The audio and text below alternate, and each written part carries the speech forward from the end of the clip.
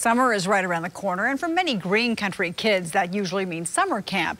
But with the pandemic, this summer could be very different. Our Vincent Hill shows how the virus could impact your plans.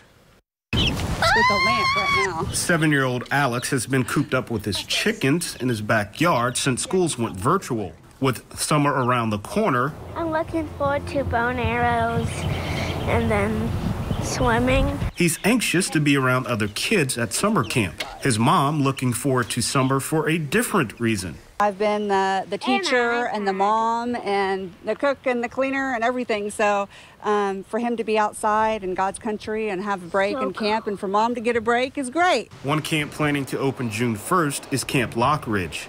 This year they're changing things to keep kids healthy during the pandemic.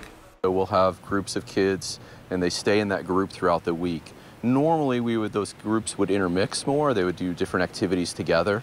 Uh, we won't do that this summer. We'll keep them isolated. Smaller groups and some buildings staying closed, like the chapel, to reduce close contact, sanitizing equipment frequently, additional hand washing stations, and recommendations from the CDC. We've talked with our healthcare professionals uh, at the camp, our RNs, um, and, and have developed some, some policies to, to keep the kids safe. He says they're changing the enrollment questionnaire to include recent travel history or illness in the home. He says the camp is also looking into ways to check each child's temperature when they arrive. For Alex's mom, she says she's a little concerned for his physical health, but more concerned about his mental health. There is a possibility, but we trust in the Lord. And, you know, like I said, if, if they're going to open, it's not like he's cooped up inside all day.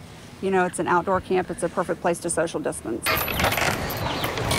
In Tulsa, Vincent Hill, two works for you.